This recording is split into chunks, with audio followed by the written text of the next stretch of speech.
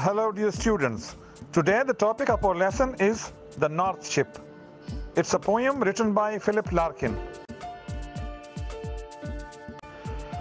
Learning objectives of the lesson to enable the students to know about the poet, to improve their vocabulary, to summarize the poem, and to answer the questions. About the poet, Philip Larkin was an English poet, music critic, and novelist who is still very popular and respected. His poems are highly structured yet written in plain, straightforward language. This poem is a bit like the beginning of a story. It contains strong images, but it also raises questions in the reader's mind. Now, words meanings. The first word is sailing. It means travel in a boat with sails, especially as a sport.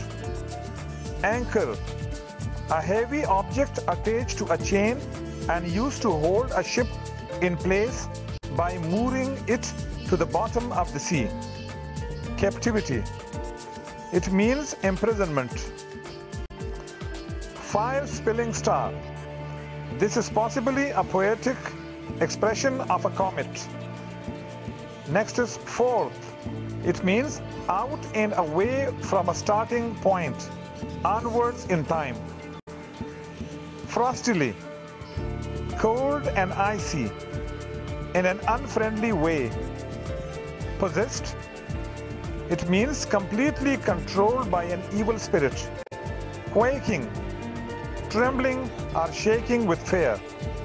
Rigged, rigged means fitted or equipped with rigging, sails or ropes. Unfruitful, not producing good or helpful results. Now I'm going to read the poem. I saw three ships go sailing by over the sea, the lifting sea, and the wind rose in the morning sky, and one was rigged for a long journey. The first ship turned towards the west over the sea, the running sea, and by the wind was all possessed and carried to a rich country. The second ship turned towards the east over the sea, the quaking sea, and the wind hunted it like a beast to anchor in captivity. The third ship drove towards the north, over the sea, the darkening sea. But no breath of wind came forth, and the decks shone frostily. The northern sky rose high and black over the proud, unfruitful sea. East and west, the ships came back, happily or unhappily.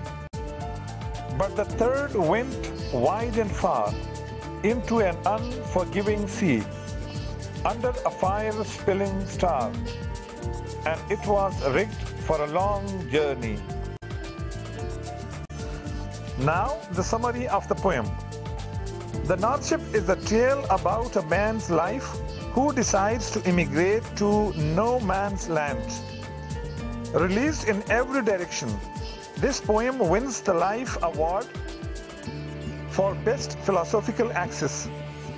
Despite life's concern, we proclaim that we too must move on. Philip Larkin's poem, The North Ship, is about this journey of life. Life is a continuous journey and it's a kind of endless journey battling all the obstacles in route. Philip Larkin's The North Ship makes a sharp focus on that eternal goal of ours towards the meeting of unknown and unseen. Like that of the Tennyson's Ulysses, the poem The North Ship highlights our point of desired goals, a meeting point of onward journey, a forward journey where perils to invest us. It's a kind of symbolic journey of aspiration that overawes all obstacles. This poem states the journey of three ships at three different destinations. While the first two ships return safely, the third one goes into calamity and meets hazardous ends. Exercise A1 Draw a table in your notebook like the one given below. It's a good idea to draw the column headings and fill in your answers for the first row before moving to the next one. Your answers should be in note form but with enough detail for you to use them later on.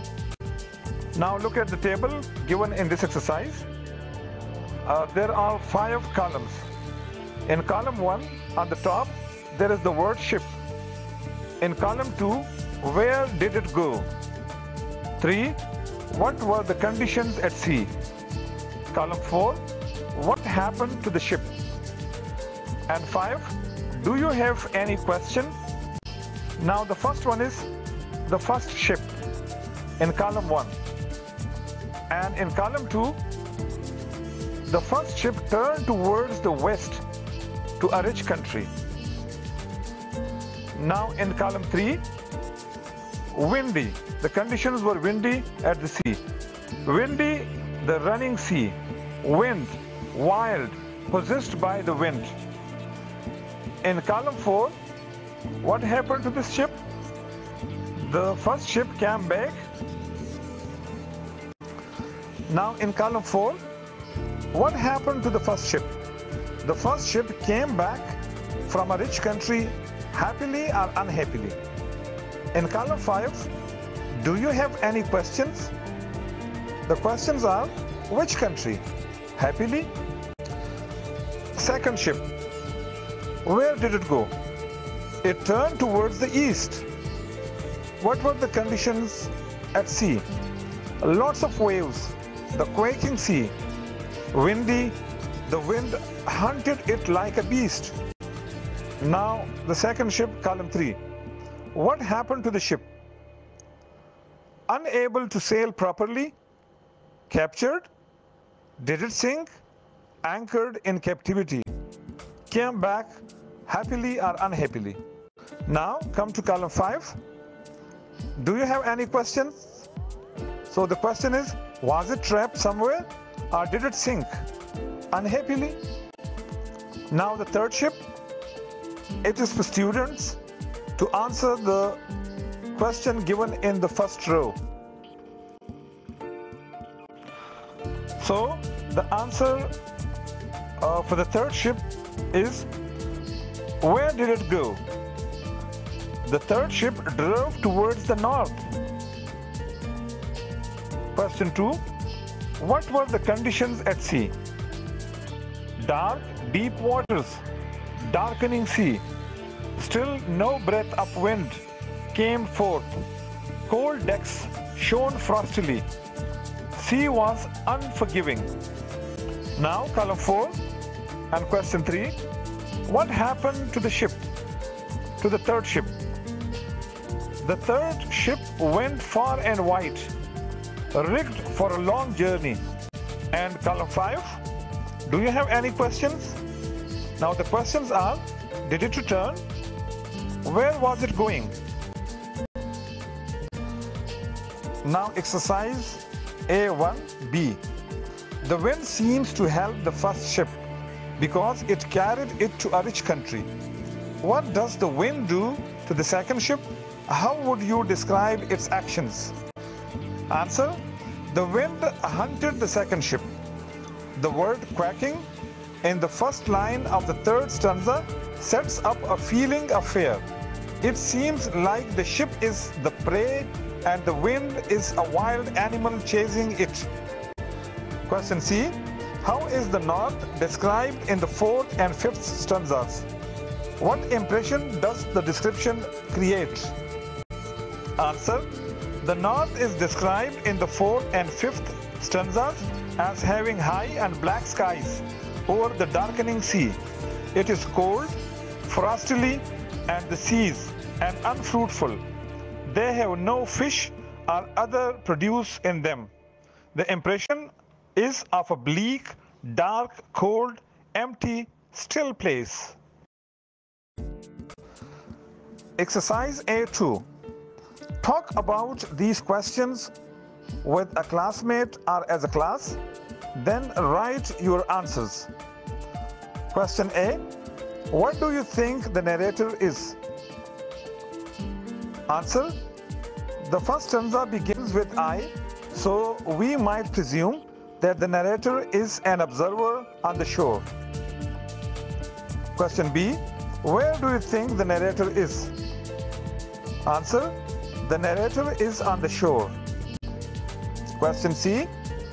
How does the ship go wide and far if there is no breath of wind to sail with? Answer. This is a mystery. The poem raises questions. Is this a ghost ship? Exercise A3. Answer the following questions with reference to context. A. Over the sea, the quaking sea, and the wind hunted it like a beast. Now question 1. What is referred to as the it that is being hunted? Answer. It refers to the third ship which is being hunted. Question 2. What emotion is conveyed by the image of a quaking sea? Answer. The emotion of fear is conveyed by the image of a quaking sea. Question 3. Which of the three statements best explains the presentation of the wind in the, these lines? Explain your choice. The wind is presented as scared and quiet. The wind is presented as frightening and uh, violent. The wind is presented as loud and hungry. The answer is the wind is presented as frightening and violent. Exercise 3B. Answer the following questions with reference to context. Into an unforgiving sea, under a fire spilling star. Question 1. Why might the sea seem unforgiving? Answer. The sea is relentless, difficult and hostile. This ship does not seem to have an easy journey. Question 2. What do you think a fire spilling star is? Explain your ideas. Answer. The fire spilling star here can be a description of a comet, a spectacular sight. Perhaps, though the journey is hard and long, it is full of wonder. Exercise 4. Understanding the rhyme and repetition. Question A. Is there a rhyming pattern in this poem? What is it? Answer. Yes. The rhyming pattern is A, B, A, B. Question B. Notice that the poet has used the word sea as the last word of the second line of every stanza. Which words does the poet rhyme with sea? Answer. The poet rhymes the following words with sea. Journey, country, captivity, frostily and unhappily. Question C. Poets often repeat words to highlight their importance to the message and meaning of a poem. Which words or phrases are repeated in the poem? Answer. The following words and phrases are repeated in the poem. Rigged for a long journey, over the sea, see the wind. Uh, dear students, this is the end of the lesson and I hope that you would have learned all the questions and answers given in the exercise along with summary and words meanings. Thank you very much. Goodbye.